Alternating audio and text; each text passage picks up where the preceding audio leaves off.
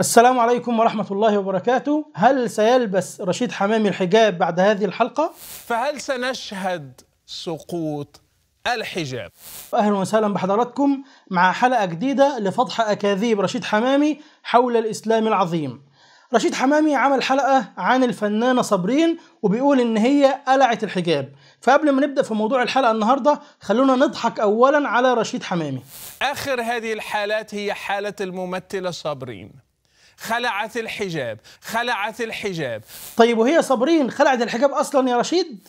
لهيك نحن بعد ما انتشر الخبر تواصلنا معها لتوضح لنا وجهة نظرها يا جماعة أنا بس شلت التربون ما ما كانش حجاب يعني. أنا ما كنتش عاملة الحجاب كما ينبغي أن يكون يعني.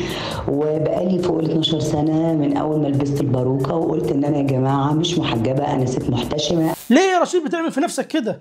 ليه مصر تفضح نفسك بهذه الطريقة؟ تقتل نفسك بنفسك. طيب يا وحيد لما رشيد يطلع يقول إن فلانة قلعت الحجاب وتطلع فلانة تقول إن هي أصلا ما كانتش لابسة حجاب ساعتها نقول على رشيد إيه؟ ده إما مخبول مسطول مش واخد باله خرج عن استيعابه. ضحكتوا على رشيد تعالوا بقى نبدأ الموضوع. في الحقيقة يا جماعة حلقة اليوم ليست للدفاع عن الإسلام العظيم لأن دين الإسلام ليس متهما لأنه أمر بتغطية النساء والحفاظ عليهن. بل هذا من مناقب الإسلام وفضائله. ولكن حلقة اليوم لتعليم رشيد الديانة المسيحية التي يصر رشيد في كل مرة على الإساءة إليها عن طريق طعنه في الإسلام العظيم. بص يا رشيد، أنا النهاردة إن شاء الله هخليك مهزأة الأمم ومسخرة الشعوب، وأخليك عبرة للي يسوى واللي ما يسواش، هخليك نكتة يتندر عليها المسلمون والنصارى والملاحدة. سبحان الله وكأن الله خلقك لكي تفضح وتهان ويسخر العقلاء من أكاذيبك وتدليسك. شوف يا رشيد كم مرة تتفضح وأنت بتكذب وبتدلس وحتى اليوم لم تجرؤ على الرد علي أو الرد على جميع الذين ردوا عليك وفضحوك. الدكتور منقذ السقار أخونا أحمد سبيع أخونا أحمد سليمان أخونا نور طارق قناة السراج المنير قناة شموع النهار قناة هداية الحيارة كل ده وأنت ساكت وعامل نفسك من بنها. طبعا الأخ هيسألني كل مرة طب إيه علاقة بنها بالموضوع؟ هقول لك والله أنا ما أعرفش بس هي الكلمة دي بتتقال كده. إيه؟ وحتى المرة الوحيدة اللي حاولت ترد فيها عليا يا رشيد فضحت نفسك في موضوع الصادق الأمين. لذلك أنت مرعوب من الرد عليا أو الرد على أي متخصص من الإخوة الأفاضل اللي ردوا عليك. هتفضل عايش مهان وذليل لغاية إمتى يا رشيد؟ كل أكاذيبك مفضوحة على قنوات اليوتيوب الإسلامية والمنتديات المتخصصة. وخلاص جميع الناس بقوا عارفين إنك كذاب وهارب من مناظرة جميع المتخصصين اللي ردوا عليك وفضحوك. وأنا والله لا أتصور أن أعيش يوما واحدا من حياتك هذه. حياة قائمة على الكذب والخداع والغش والتدليس وقلب الحقائق وتغييب وعي مشاهديك من النصارى. والعجيب إنك إلى الآن لم ترد وفي نفس الوقت لم تعتذر عن هذا التدليس والكذب السابق. نفسي أفهم والله أنت عايش كده إزاي. طيب انت يا رشيد مثلا مش بتخاف على أولادك لما يكبروا ويشوفوا الحلقات اللي فضحتك وكشفت جهلك وكذبك؟ انت متخيل شعور ابنك هيكون عامل إزاي لما يعرف ان أبوه إنسان كذاب وجاهل ومدلس وإن أكل عيش أبوه كله من الكذب والغش والتدليس؟ ابنك هيكون شعوره إيه لما يعرف إنه اتربى بمال حرام مصدره الكذب والغش والتدليس؟ الموضوع ده يا رشيد ما بيجيش مثلا على بالك نهائيا؟ حاسس إنك سعيد ومتصالح مع نفسك كده يعني؟ انت كده مبسوط؟ منذ سنوات وأنا أدعوك للمناظرة وأنت حتى الآن ما زلت تتهرب. دعاك الدكتور منقذ السقار للمناظرة منذ سنوات وأنت ما زلت تتهرب. دعاك أخونا الشيخ أحمد سبيع للمناظرة وأنت أيضا ما زلت تتهرب. وأيضا دعاك أخونا أحمد سليمان للمناظرة وأنت يا رشيد لا زلت تتهرب. وأيضا دعاك أخونا نور طارق للمناظرة وأنت يا رشيد لا زلت تتهرب مع أن الأخ نور بيرد على جميع حلقاتك. وأنت يا رشيد واخد وضع النعامة. اليوتيوب صار مزدحما بفضائحك. وانت ولا انت هنا كأن الطبيعي في حياتك إنك تتفضح وتدهان كرامتك وتتهزأ. أنا هقول لك إيه؟ ما أنت منصر. ومرة أخرى يا رشيد أدعوك للخروج من هذا الكهف وكسر القوقعة وأجدد لك عرضي بالمناظرة. ما رأيك يا رشيد في مناظرة علنية أمام العالم أجمع في وضع المرأة بين الإسلام والمسيحية؟ وأنا أتوقع يا رشيد أنك ستعلن براءتك من المسيحية أثناء أو بعد هذه المناظرة. ولو عايز تتهرب مني زي زمان يبقى نظر الدكتور منقذ السقار مش ناوي بقى يا رشيد تاخد حبايه الجرأه وتستاجر وتخرج من الجحر وتنظر واحد من المختصين بدل مسلسل الهروب المخزي اللي انت عايش فيه ده؟ استحي شوية واطلع نظرني يا جبان يا مرعوب. الحقيقة يا جماعة في سؤال مهم جدا بيطرح نفسه وهو لماذا يحارب رشيد النصراني الحجاب؟ لماذا يستميت رشيد حمامي وقناته النصرانية لهذه الدرجة لتخلع الفتاة أو المرأة المسلمة حجابها؟ أنت يا رشيد في هذه الحلقة طالع تهاجم الحجاب فأنا لازم الأول أفكرك بحاجة هو أنت يا رشيد مش المفروض إنك مسيحي وبتقدم نفسك على كده؟ فاكر نفسك ملحد ولا إيه؟ يا رشيد أنت مسيحي اصحى يا ابني وفوق أنت مسيحي والله شكلك ناسي طب والله شكلك ناسي حتى في مقدمة برنامجك انت مصور نفسك وانت داخل الكنيسة صح؟ إيه كنت بتعمل إيه في الكنيسة؟ داخل تتمشى مثلا؟ يعني المفروض إنك داخل الكنيسة لأنك مسيحي زي ما بتقول طيب لماذا تحارب الحجاب والديانة التي يفترض أنك تؤمن بها تنادي بحجاب النساء؟ ده خطأ بشري خطأ منطقي خطأ من كل النواحي وجواب هذا السؤال وجدته في كلام الكاتبة البريطانية كارين أرمسترونج تقول فقد تملك المسلمين الرعب حين رأوا الأسلوب الذي كان المسيحيون في دول الصليب يعاملون به نساءهم كما هاجم المفكرون المسيحيون الإسلام على أساس أنه يمنح الوضعاء من العبيد والنساء قوة كبيرة. يعني المسيحيون هاجموا الإسلام لأنه سيعطي النساء والعبيد حقوقا لا يراها المسيحيون أنها من حق النساء والعبيد. إذا فدين الإسلام العظيم هزم الديانة النصرانية بين قوسين المسيحية فكريا وحضاريا وأخلاقيا وعسكريا. فلما تخلى المسلمون عن مصدر عزهم وقوتهم وصلوا إلى الحالة التي نراها اليوم فسقطوا عسكريا. ويريد عدوهم اليوم أن يدفعهم دفعا للسقوط أخلاقيا وحضاريا. بالله عليكم يا جماعة تركزوا معايا في موضوع النهاردة لأن الموضوع فعلا مهم ويهم كل مسلم أو مسيحي على وجه الأرض. ربنا سبحانه وتعالى لما أرسل سيدنا النبي صلى الله عليه وسلم بدين الإسلام العظيم كانت الديانة النصرانية في ذلك الوقت تسيطر على نصف العالم تقريبا وكانت الفارسية تسيطر على النصف الثاني وكانت بقية الأجناس والأعراق شيئا بسيطا يعيش على هامش التاريخ. ثم انقلب الوضع تماما وصار الإسلام هو الدين المهيمن على العالم. فتعلم العالم المسيحي حسن الأخلاق وحسن معاملة النساء من المسلمين ومن حضارتهم الإسلامية العظيمة. عالم الاجتماع الفرنسي الشهير جوستاف لوبون يقول في كتابه حضارة العرب وقد ذكرنا في فصل سابق أن الأوروبيين أخذوا عن العرب مبادئ الفروسية وما اقتضته هذه المبادئ من احترام المرأة. مرة أخرى يقول الأوروبيين أخذوا عن العرب مبادئ الفروسية وما اقتضته من احترام المرأة. والإسلام إذا وليس النصرانية هو الذي رفع المرأة من الدرك الأسفل الذي كانت فيه وذلك خلافا للاعتقاد الشائع. وإذا نظرت إلى سنيورات نصارى الدور الأول من القرون الوسطى رأيتهم لم يحملوا شيئا من الحرمة للنساء. وإذا تصفحت كتب تاريخ ذلك الزمن وجدت ما يزيل كل شك في هذا الأمر. وعلمت أن رجال عصر الإقطاع كانوا غلاظا نحو النساء. قبل أن يتعلم النصارى من العرب أمر معاملتهن بالحسنى. قبل إيه يا جوستاف لبون قبل أن يتعلم النصارى من العرب أمر معاملتهن بالحسنى. الله أكبر الله أكبر. إذا وجدت عند الأعداء مدح لعدوهم اعرف أنه حق ولهذا يقال في اللغة العربية الحق ما شهد به الأعداء. عفوا الحق ما شهد به الأعداء. ويقول جوستاف لوبون وتعامل المرأة المسلمة باحترام عظيم فضلا عن تلك الامتيازات وتنال بذلك حالا أجمع الباحثون المنصفون على الاعتراف بحسنها. يقول ميسيو دو أميسيس إن المرأة في الشرق تحترم بنبل وكرم على العموم فلا أحد يستطيع أن يرفع يده عليها في الطريق ولا يجرؤ جندي أن يسيء إلى أوقح نساء الشعب حتى في أثناء الشغب. وفي الشرق يشمل البعل يعني الزوج يشمل زوجته بعين رعايته وفي الشرق يبلغ الاعتناء بالأم درجة العبادة وفي الشرق لا تجد رجلا يقدم على إلزام زوجته بالعمل ليستفيد من كسبها شفت المسلمين بيعاملوا المرأة المسلمة إزاي؟ وتقول الكاتبة كارين أرمسترونج وهكذا رأت النساء اللاتي ارتدين الحجاب في البداية فيه رمزا للقوة وحسن الأثر وليست شارة تدل على اضطهاد الذكور لهن. اسمع بقى يا رشيد. وقد أخذت نساء الصليبيين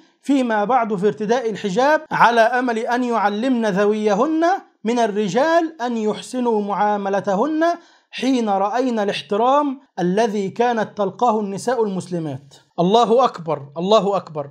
عرفتوا بقى يا جماعة النصارى جابوا احترام النساء منين؟ أيوه من دين الإسلام العظيم ومن أخلاق المسلمين. حتى الحياء والحشمة كذلك لدرجة إن القساوسة اليوم يغارون من ثياب النساء المسلمات ويتمنى القساوسة أن يروا نساءهم مثل نساء المسلمين. أنا بقول لبناتنا المسيحيات بقول لكم يا ريتكم تتعلموا من المحجبات الحشمة بتاعتهم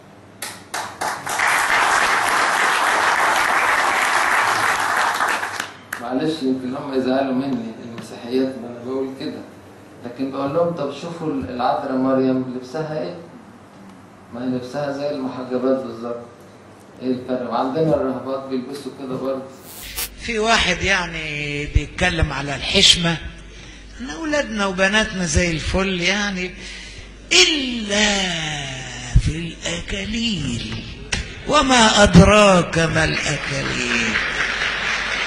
غلب الدنيا كلها. يعني لا مؤاخذة بس يا رب ما حدش يزعل مني. أقول إيه بس؟ أقول يعني لا مؤاخذة حضرة العريس يعني. حضرة العريس يعني مبسوط إن عروسته تبقى لابسة كده. أنا مش فاهم يعني. قليل. هقول لي بس؟ ما إحنا الح- الحمد لله. مجرد ما نشوفها من أول الطريق جاية اللبس مش تمام. أبونا الحرملة بتاعتها بسرعة بسرعة يروح مغطيها على طول. أرجوكم الاحتشام في الأكاليل مش بس في الحياة العامة وفي الكنيسة. بصراحة أقول إيه بس؟ يعني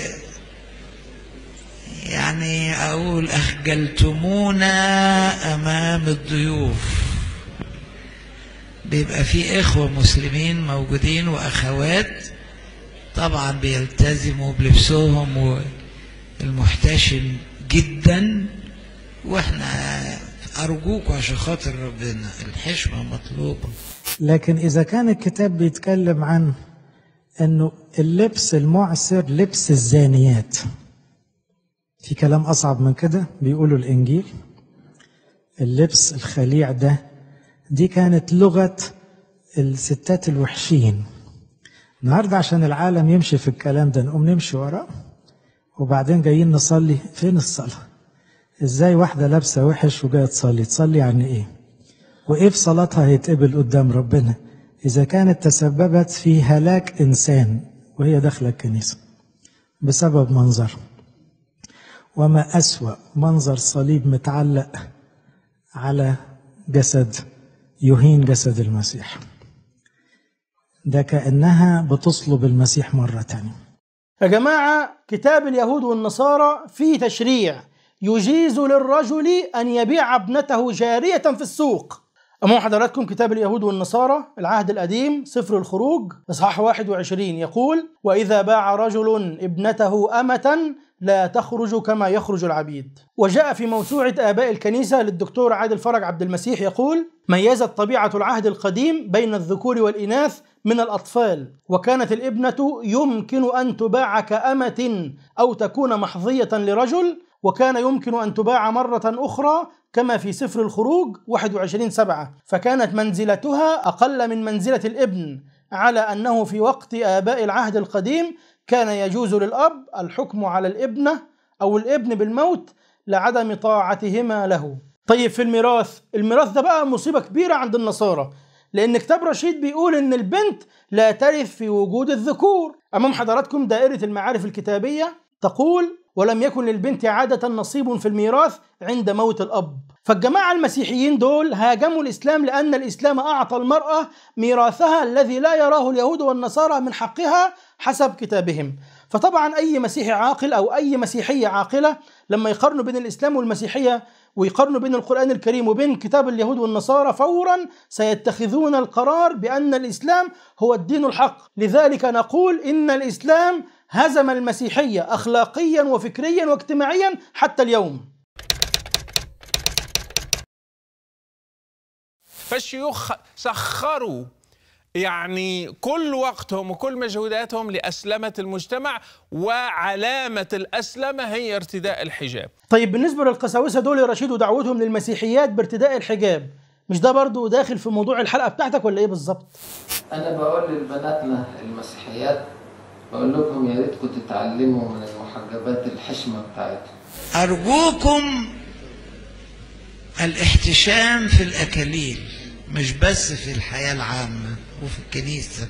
طبعا النهارده تجد كثيرا من النصارى ينظرون للمرأة المسلمة على أنها رمز للشرف والحياء والعفة والطهارة كما سنذكر لحضراتكم بعد قليل بإذن الله. وحتى بعد سقوط الخلافة ظلت الحضارة الإسلامية وأخلاق المسلمين الراقية مهيمنة على قلوب الناس. يقول المؤرخ الأمريكي ويل ديورانت غير أن المسلمين كما يلوح كانوا رجالا أكمل من المسيحيين فقد كانوا أحفظ منهم للعهد. الله أكبر. وأكثر منهم رحمة بالمغلوبين. الله أكبر. وقلما ارتكبوا في تاريخهم من الوحشية ما ارتكبه المسيحيون عندما استولوا على بيت المقدس في عام 1099 شفت؟ حتى في الحروب التي يتخلى فيها الجميع عن قيمهم وأخلاقهم وإنسانيتهم كان لسمو أخلاق المسلمين بصمة حاضرة في أذهان المؤرخين المنصفين. يقول هنري ديكاستري ونحن نعلم أن المسيحيين أيام الحروب الصليبية ما دخلوا بلادا إلا وأعملوا السيف في يهودها ومسلميها. وذلك يؤيد أن اليهود إنما وجدوا مجيرا وملجا في الإسلام فإن كانت لهم باقية حتى الآن فالفضل فيها راجع لمحاسنة المسلمين ولين جانبهم. أقسم بالله أننا شرفاء. حتى وإن وقعت أخطاء في التاريخ الإسلامي لا يرضاها الشرع من بعض السلاطين أو من بعض الحكام. بل لقد وصل الأمر في زماننا إلى إن البابا السابق لنصارى مصر الأرثوذكس شنودة يقول هذا الكلام. أريد أن أذكر أن الإسلام في جوهره وفي روحه وفي أساسه يعامل غير المسلمين معاملة طيبة وهكذا أعطى الإسلام حرية الدين لغير المسلمين. أذكر أيضا في سماحة الإسلام حفظه في عهوده ومواثيقه للمسيحيين في كنائسهم وصوامعهم ورهباناتهم وأملاكهم وأرواحهم وكل شيء. وأذكر أن عمرو بن العاص عندما أتى إلى مصر كان بطريرك مصر البابا بنيامين البطريرك الثامن والثلاثون كان مختفيا في أرجاء مصر من إخوته المسيحيين المختلفين عنه في الإيمان ثلاثة عشر عاما لم يجلس على كرسيه فلما أتى عمرو بن العاص أمنه على نفسه وعلى كنائسه والكنائس التي أخذها منه الروم أرجعها إليه عمرو بن العاص. حتى المؤرخ المسيحي الشهير الدكتور عزيز سوريان عطية يقول أما العرب فقد أتوا لتحرير القبط من هذه الأغلال البيزنطية إذ كان موقفهم من أهل الكتاب أو أهل الذمة موقفا كريما وسمحا تأكدت فحواه من واقع العهد العمري الذي كفل للأقباط حريتهم الدينية بشكل لم ينعموا به أبدا تحت النير البيزنطي. شفت كما أن المسلمين كانوا أصحاب فضل على اليهود أيضا فالمسلمون كانوا أصحاب فضل على النصارى لأنهم خلصوهم من الظلم والإضطهاد والقمع. إحنا ليه نسينا إن عمرو بن العاص هو اللي رجع البطرك بتاعنا الكرسي. لما جه كان في بطرك دخيل يوناني فرض علينا واضطهدنا. تصوروا مسيحي واضطهدنا. لدرجة إن البطرك اختفى والاسقفة اختفوا من كتر الاضطهاد. رجع عمرو بن العاص قال لهم فين؟ وجابوا ورجعوا كرسي. وأعاد له كل كنائسه. حاجة جميلة هو ده الإسلام. ولو عايز تعرف باختصار حال مصر قبل الإسلام ممكن تقرأ ما قاله جوستاف لوبون في حضارة العرب. يقول وأكرهت مصر على انتحال النصرانية وهبطت بذلك إلى دركات الانحطاط مقدارا فمقدارا إلى أن جاء العرب. عرفتوا ليه رشيد حمامي وأمثاله من المنصرين بيحاولوا الطعن في دين الإسلام العظيم؟ لأن النصارى أمة مهزومة حضاريا واخلاقيا وسلوكيا وعقائديا، ولم يتعلموا حسن الأخلاق وحسن معاملة النساء إلا من المسلمين. وهختم الجزء ده بكلام خطير ومهم للسير توماس أرنولد، يقول: كما أن سرعة انتشار الإسلام في الأيام الأولى من الاحتلال العربي مش فاهم ليه بيسميه احتلال يعني. إحنا بنحمد ربنا إن الإسلام انتشر إنه رفع الظلم عن الناس. يقول قد تكون راجعة إلى عجز ديانة كالديانة المسيحية وعدم صلاحيتها للبقاء أكثر من أن تكون راجعة إلى الجهود الظاهرة التي قام بها الفاتحون العرب لجذب الأهلين إلى الإسلام. فالمسيحية ديانة باهتة باطلة عاجزة. وليس لديها ما تقدمه للبشرية. لا بصراحة أبو عمر المسيحية لديها ما تقدمه للبشرية لتجذب به الناس إليها. أمام حضراتكم موقع روسيا اليوم الإخباري. وطبعا هذا الموقع ليس اسلاميا. العنوان بدء التحقيق في حمل راهبتين كانتا في مهمة تبشيرية بأفريقيا. بالله عليك يا رشيد ده اسمه كلام؟ اتنين راهبات رايحين في مهمة تبشيرية لخدمة الرب. ممكن تقول لي إزاي رجعوا حاولوا من هناك يا رشيد؟ هل هذا ما تقدمه المسيحية للبشرية؟ الجنس؟ التنصير مقابل الجنس والمتعة الحرام؟ والخبر بيقول وتواجه الراهبتان الآن مستقبلا غامضا في مهنتهن. ممكن يا رشيد تتصل بالراهبتين عشان تطمن على مستقبلهم الغامض طالما عندك وقت للمتصلات؟ واتمنى أتمنى خلال الحلقة أي واحدة عندها تجربة من هذا النوع تتصل تشارك تجربتها. لماذا؟ لأنه لازم الصوت يسمع. أنا قلت إنه عمل ثوري في هذا الوقت. عمل ثوري. ربما في مجتمعات أخرى في ظروف أخرى في أوقات أخرى. وأنا من هنا أطالب كل راهبة تعرضت للاغتصاب من القساوسة أو البابوات أو مارست الجنس لأجل التنصير إنها تتصل على رشيد حمامي حتى يسمع صوتها لأن قول الحق في زمن الاضطهاد عمل ثوري. في مقولة للكاتب الإنجليزي جورج أورويل يقول قول الحقيقة في زمن الخداع عمل ثوري. طيب يا رشيد لماذا لا تتصل بالنساء والأطفال دعاية الاعتداءات الجنسية من رجال الدين المسيحي على أعراضهم؟ مفيش عندك مثلا وقت للكلام ده؟ ولا فضايح الكنايس دي مجرد شكليات بالنسبة لك؟ مش وقت برنامجك المسيحي أولى بتنظيف وتطهير الكنائس من القاذورات بدلا من طعنك في الحجاب؟ لكن أنا اللي أزعجني جدا في الخبر إن الموقع بيقول إن هذه الفضيحة تسببت في بث الذعر بين رجال الدين. اللي هو إزاي يعني؟ أنا مش فاهم. هو مش رجال الدين المسيحي الأبطال هم الذين قاموا بهذا العمل الرائع مع هاتين الراهبتين؟ ولا هاتين الراهبتين حبلوا مثلا من حد تاني؟ طيب ما هو سي إن إن برضه نشرت خبر إن في تعويضات تقدر ب 3.8 من عشرة مليار دولار مقدمة لضحايا الاعتداءات الجنسية ضد الكنيسة. هو غالبا رجال الدين المسيحي العظماء الأتقياء هم الذين قاموا بهذا العمل البطولي مع هاتين الراهبتين. فلماذا خبر حمل الراهبتين يبث الذعر بين صفوفهم؟ Non posso che riconoscere il grave scandalo causato in Irlanda dagli abusi su minori da parte di membri della Chiesa incaricati di proteggerli ed educarli. Il fallimento delle autorità ecclesiastiche, vescovi, superiori religiosi, sacerdoti e altri nell'affrontare adeguatamente questi crimini repugnanti ha giustamente suscitato indignazione rimane causa di sofferenza e di vergogna per la comunità cattolica. طيب إيه رأيك يا رشيد في الكنائس المسيحية؟ مجتمعات تعتمد على المظهر ظاهرها العفاف وداخلها ينخره الفساد. العجيب برضو إن الخبر بيقول إن الراهبتين انتهكتا قواعد العفة الصارمة بشكل صارخ. عفة يا ابو عفه إذا كان الرب نفسه بيقول لهوشع اذهب وخذ لنفسك امرأة زنا. وأولاد زنا. يعني بحسب كتاب رشيد الرب نفسه الذي يؤمن به رشيد كان يحرض على الرذيله والزنا. كانت أيام الخمسينات والستينات وحتى السبعينات جميلة. نراها في الصور اليوم. نرى عائلات تذهب للمسارح وللسينما. نراهم نساء ورجالا صغارا وكبارا. مظاهر الأناقة والاحترام. لم يكن هناك وجود للحجاب ولا للنقاب ولا للخمار. ناهيك عن البرقع. اللي لفت انتباهك بس يعني في الموضوع ده هو إن النساء رايحة السينما والمسرح وهي متبرجة ومش لابسة حجاب؟ لم يكن هناك وجود للحجاب ولا للنقاب ولا للخمار. ناهيك عن البرقع.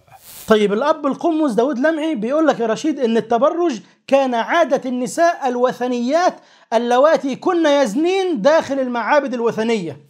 ولكن أريد أن تعلم هيدخل في قضية مكانة المرأة في الكنيسة بالذات؟ وهنا في خلفية لازم نعرف. في كورنثوس بالذات دي بلد وثنية وكانت عبادة الأوثان تقودها السيدات. وكاهنة الأوثان يبقى كان في كهنوت للست عند الأوثان. كاهنة الأوثان كانت تبقى متبرجة يعني ما تغطيش راسها. خلي بالكم الفكر.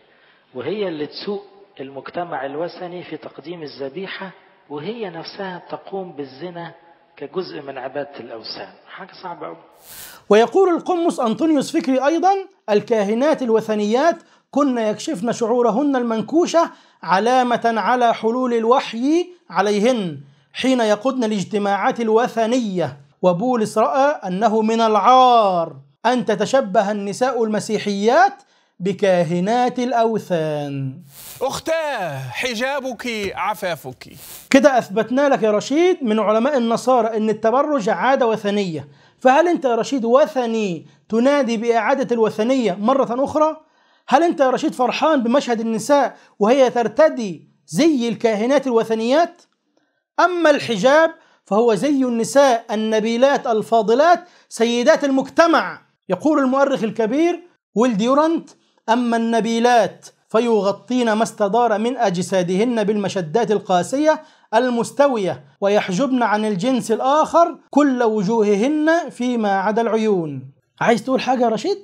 حجابي عفتي ويقول القمص أنطونيوس فكري أيضا وكانت النساء الشريفات يغطين رؤوسهن في ذلك الوقت فالعقل بيقول إن النساء لما تتشبه فالمفروض تتشبه بالشريفات العفيفات النبيلات وليس بالكاهنات الوثنيات اللواتي يتدين رشيد حمامي بدينهن الوثني.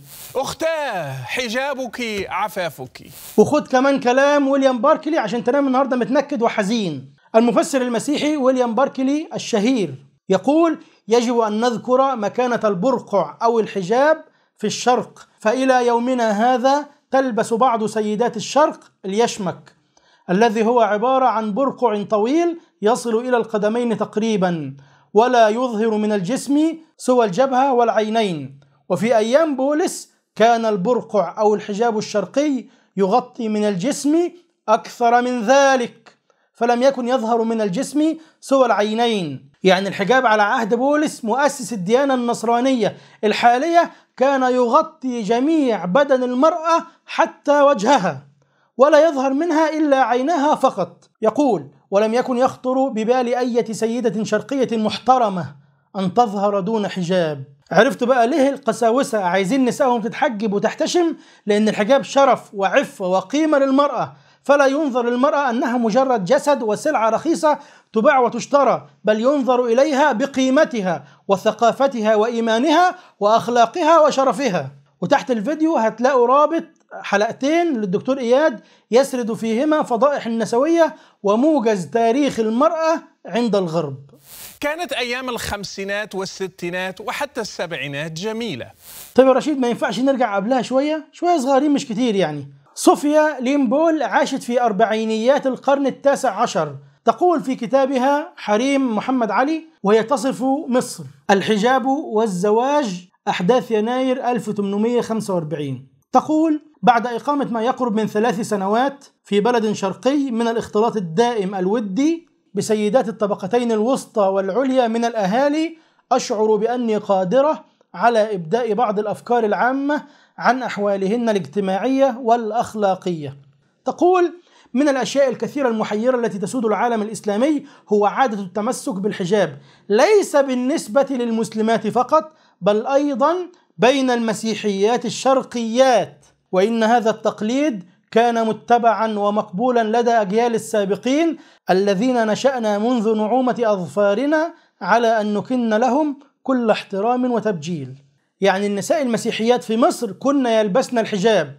والكاتبة صوفيا تقول إن الحجاب شيء متبع ومقبول عند الأجيال السابقين الذين كانوا يكنون لهن كل الاحترام والتبجيل. يعني المرأة المحجبة طول عمرها محل احترام وتبجيل من الجميع.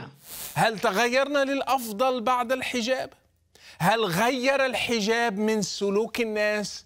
ويقول إدوارد ويليام لاين تغطي المرأة القبطية يعني المرأة المسيحية. تغطي وجهها ليس بين العامة فحسب ولكن في منزلها. كذلك في حال وجود رجال غرباء من غير أقربائها فيه. وتقوم عازبات الطبقة الدنيا بإسدال الحجاب الأبيض على وجوههن بين العامة. وأما الحجاب الأسود فغطاء السيدات المتزوجات الوقورات. الله أكبر الله أكبر. وأما الحجاب الأسود فغطاء السيدات المتزوجات الوقورات. هل تغيرنا للأفضل بعد الحجاب؟ يقول وقد تلجأ العديدات من القبطيات إلى الغطاء الأبيض حبا في الاقتداء بالمسلمات.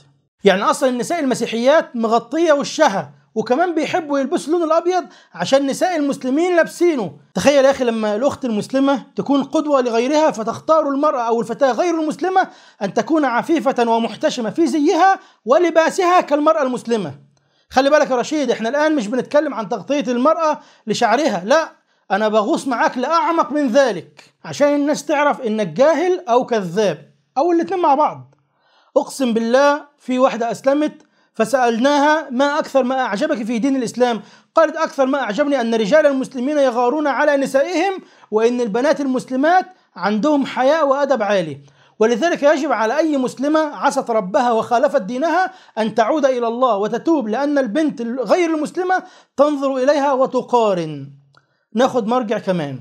فاكرين يا جماعة الحملة الفرنسية على مصر؟ علماء الحملة الفرنسية كتبوا ما رأوه في مصر خلال هذه الفترة. فجاء في كتاب وصف مصر لعلماء الحملة الفرنسية يقولون وبالرغم من هذا التقدير العميق لرجال الدين فإن القبطية لا يسمح لزوجته أن تسفر عن وجهها أمامهم. ونحن هنا نتحدث فقط عن الطبقة الميسورة منهم يعني الطبقة الوسطى والعليا بل إن البطريرك لا يمكنه أن يرى سيدة سافرة إلا إذا كان زوجها هو الذي سمح بذلك وعن طيب خاطر.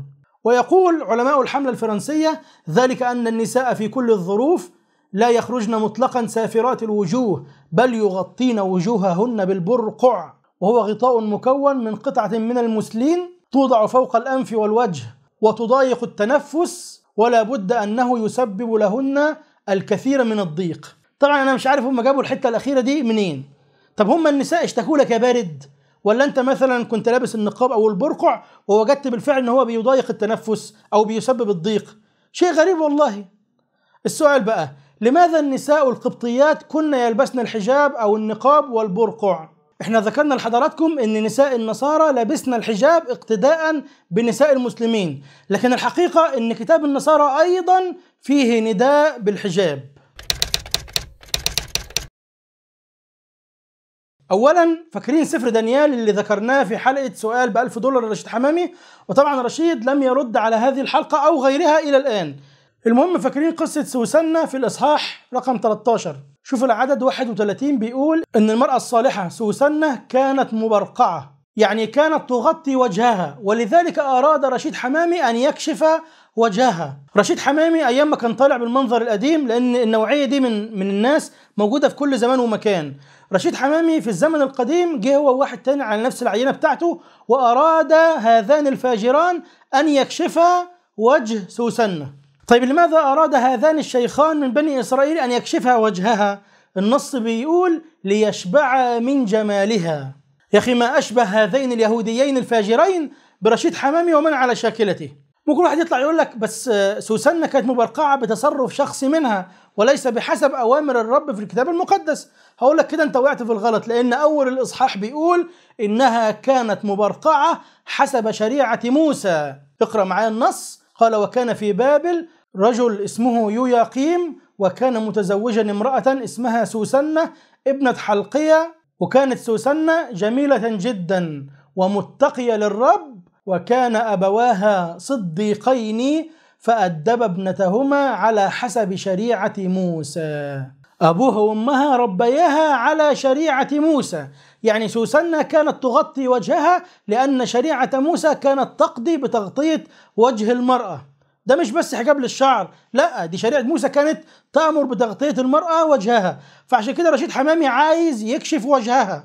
أمام حضراتكم قاموس الكتاب المقدس يقول برقع والجمع براقع وهو غطاء للوجه كانت تلبسه نساء أورشليم في أيام إشعية ولا زالت تلبسه بعض النساء إلى يومنا هذا. بولس الذي يؤمن النصارى أنه رسول المسيح مع أنه لم يرى المسيح في حياته أبدا يقول إذ المرأة إن كانت لا تتغطى فليقص شعرها وإن كان قبيحا بالمرأة أن تقص أو تحلق فلتتغطى. عارفين تلاميذ المسيح؟ في كتاب اسمه الدسقولية اللي هو تعاليم الرسل. وجاء في مقدمة هذا الكتاب يقول القمص مرقس داود ذلك الكتاب الذي اتخذ من القديم دستورا للكنيسة الأرثوذكسية. وبيقول إن كتاب الدسقولية هو الكتاب الثاني للكنيسة بعد الكتاب المقدس. وبابا النصارى شنودة يقول إن الدسقولية هي تعاليم رسل المسيح الاثني عشر. تمام؟ شوف بقى في صفحة 27 ماذا يقولون. بيقولوا لنساء النصارى لا تتشبهن بهؤلاء النساء أيتها المسيحيات. إذا أردتن أن تكن مؤمنات اهتمي بزوجك لترضيه وحده. وإذا مشيت في الطريق فغطي رأسك بردائك. فإنك إذا تغطيت بعفة تصانين عن نظرة رشيد. قصدي تصانين عن نظرة الأشرار. ويقول أيضا رسل المسيح للمرأة المسيحية يكون مشيك ووجهك ينظر إلى أسفل وأنت مطرقة مغطاة من كل ناحية. أختاه حجابك عفافك.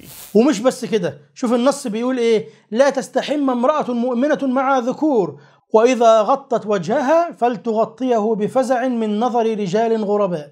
حجابي عفتي.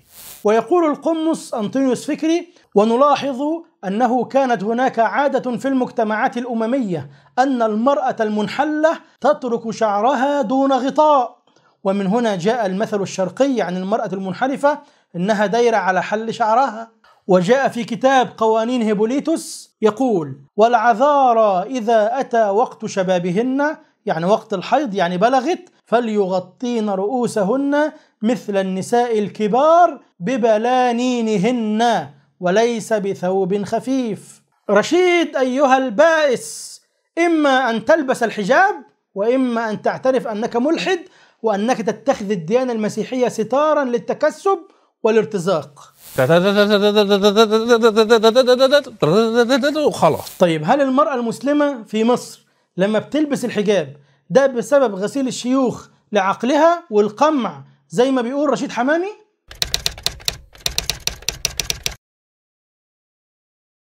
عمل عملوا نوع من الإرهاب للنساء. وصار الآن يعني نرى النتائج. نحصد ما زرع في زمن هؤلاء الشيوخ. تعالوا بقى نضحك على رشيد حمامي شوية. الكاتبة كارين أرمسترونج تقول واليوم تعود بعض النساء المسلمات إلى زيهن التقليدي وهذا لا يحدث كما يقول رشيد لإخضاعهن لعملية غسيل مخ من قبل ديانة شوفونية لكنهن يفعلن ذلك لأنهن يجدن العودة إلى جذورهم الحضارية عملية فيها إرضاء كبير وغالبا ما يكون ذلك رفضا لمواقف رشيد حمامي الإمبريالية التي تدعي أنها تفهم مأثوراتهن أكثر منهن أنفسهن. إذا فالمرأة المسلمة التي تعتز بحجابها إنما تعتز به لأن حضارتها الإسلامية تملي عليها ذلك ولأن المسلمة تعرف أن الغرب الكافر يريد سلخها عن دينها وحضارتها ومصدر عزها وشرفها وفخرها. فالمرأة المسلمة تعتز بحجابها رفضا للفكر الغربي الذي عر النساء وجعل من المرأة سلعة رخيصة تعرض جسدها وتبيعه بأرخص الأثمان عصام العريان عصام العريان يعني لسخرية لسخرية القضية. عصام العريان يريد أن يغطي النساء. عريان يريد تغطية النساء. طب ما هو ممكن واحد برضو بنفس المنطق بتاعك يطلع يسف عليك ويقول لك انت اسمك رشيد حمامي والحمام ده المكان اللي الناس بتقضي فيه حاجتها. يعني ده مكان للنجاسة والبول والبراز. فكيف تنادي بالطهر والقداسة وانت أصلا اسمك محل أو مكان للنجاسة؟ ليه بقى تدخل نفسك في الزاوية دي وتخلي الناس تسف عليك وتهزقك؟ خليك محترم حاول تتعامل مع الأمور بشكل علمي. مش أنت برضو يا رشيد اللي كنت بتقول أصحاب العقول الكبيرة يناقشون الأفكار وأصحاب العقول الصغيرة يناقشون الأشخاص. وفي الحقيقة هذا عيب في الرد لأن أصحاب العقول الكبيرة يناقشون الأفكار وأصحاب العقول الصغيرة يناقشون الأشخاص. طيب أنت مالك هنا ومال اسم الراجل أو شخصه؟ إحنا مالنا وماله. الراجل قال فكرة سليمة أهلا وسهلا. قال فكرة غلط نرد عليه. صح ولا غلط؟ ليه أنت بقى إيه بتتكلم على اسمه؟ أصل اسمه كذا واسمه كذا. سيبك بقى من اسم الراجل وخليك في أفكاره. فالموضوع ناقش الموضوع ولا تطعن في الشخص سيكون لك مصداقية أكثر إن فعلت ذلك طيب هل معنى ذلك إن المرأة مش مظلومة في المجتمعات العربية والإسلامية؟ هقول لك طبعا في نساء في نساء كثيرات مظلومات، لكن الظلم الذي وقع عليهن ليس بسبب الإسلام كما هو الحال في المسيحية، بل ظلمت المرأة حينما ابتعد المسلمون عن دينهم. الكاتبة كارين أرمسترونج تقول: وقد يكون المسلمون المتأخرون قد ابتعدوا أحيانا عن هذه الرؤية القرآنية للمساواة، ولكن الأولى بدعاة نصرة المرأة في الغرب تتكلم عنك رشيد. لكن الأولى بدعاة نصرة المرأة في الغرب ممن يتهمون الإسلام بكراهية المرأة أن يتأملوا مدى السلبية الشديدة في التقاليد المسيحية إزاء المرأة وليس من الإنصاف أن نلوم محمدا أو الإسلام بتهمة كراهية المرأة فإذا كانت النساء المسلمات اليوم يرفضن بعض الحريات التي نشعر أننا قدمناها إليهن فلا يرجع سبب ذلك إلى العناد بل إلى التخبط في النظرة الغربية إلى المرأة في العلاقات بين الجنسين. اسمع هذا الاعتراف. فنحن ندعو إلى المساواة وإلى التحرر ولكننا في الوقت نفسه نستغل المرأة ونمتهنها في الإعلانات وفي الكتابات والفنون الإباحية وفي كثير من أشكال الفرجه الشعبية بأسلوب يستهجنه المسلمون ويتأذون منه. وهذا هو حال الغرب الكافر الذي يسير رشيد خلفه ينادون بتحرير المرأة وهم الذين يستغلونها أسوأ استغلال. فالشيوخ سخروا يعني كل وقتهم وكل مجهوداتهم لأسلمة المجتمع وعلامة الأسلمة هي ارتداء الحجاب. تمام. يعني وجود الحجاب دليل على وجود الإسلام وعز الإسلام. وهذه رسالة لكل أخت مسلمة إنها لازم تحافظ على حجابها حتى يظهر عز الإسلام أمام جميع العالم. والله يا جماعة أنا تركت كلام كتير جدا ولم أعرض فيه نصف ما عندي لكن هختم الموضوع بكلام جوستاف لوبون. يقول الإسلام حسن حال المرأة كثيرا وأنه أول دين رفع شأنها وأن المرأة في الشرق أكثر احتراما وثقافة وسعادة منها في أوروبا على العموم تقريبا. أرجو من كل أخت مسلمة شافت هذه الحلقة أن تعطي رابط الحلقة لقريباتها وزميلاتها المسلمات وغير المسلمات. وفي نهاية الحلقة عندي نصيحة لكل أخت مسلمة. أفضل شيء تدمري به جهود هؤلاء المرتزقة وهؤلاء الحرافيش هو ارتداؤك للحجاب لأن ارتداء كل مسلمة لحجابها الشرعي أشد على هؤلاء من واقع القنابل لأن رشيد نفسه اعترف أن انتشار الحجاب علامة على تدين المجتمع. ولكن في نفس الوقت إحنا مش عايزين نشوف الحجاب فقط على رأس الأخت المسلمة مع بعدها عن أخلاق دينها بالعكس إحنا عايزين نشوف إحنا عايزين نشوف الحجاب مع التزام بأخلاق الإسلام ومعاملاته وعباداته. عايزين نشوف أختنا المسلمة زي أم المؤمنين عائشة وأم المؤمنين خديجة وأم المؤمنين حفصة وبقية أمهات المؤمنين. وأكرر مرة أخرى إن أكثر ما يدمر جهود هؤلاء عموما وجهودهم في القضاء على الحجاب خصوصا هو التزام كل مسلمة بحجابها. نفسي فعلا كل مسلمة تعلنها من النهاردة ثورة على هؤلاء الحرافيش وتقرر من اليوم أنها لن تسير إلا بحجابها عاملة به. تريد بذلك وجه الله. وقد قال نبينا عليه الصلاة والسلام لأصحابه إن من ورائكم زمان صبر للمتمسك فيه أجر خمسين شهيدا منكم. لا تنسوا إخواني وأخواتي أن تنشروا هذه الحلقة على مواقع التواصل الاجتماعي فيسبوك وتويتر وغيرهما والدال على الخير كفاعله كما يقول نبينا عليه الصلاة والسلام. هذا وبالله التوفيق والحمد لله الذي بنعمته تتم الصالحات وصل اللهم وسلم وزد وبارك على حبيب قلوبنا محمد وعلى آله وصحبه أجمعين والسلام عليكم ورحمة الله وبركاته.